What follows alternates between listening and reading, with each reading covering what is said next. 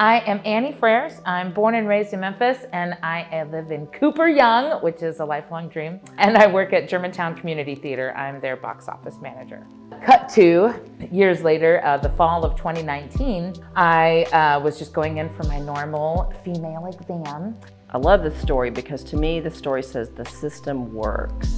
What I mean by that is she was assigned to me as her doctor, but I didn't see her on the day she got her pap smear. She came and saw one of our resident physicians. And we have protocols in place so that women of a certain age, if they haven't had a pap smear in three years, they're supposed to get one done. So one of our residents did the pap smear and guess what? It came back with an abnormality. So she saw one of our volunteers who did a biopsy and we found out that I had cervical cancer.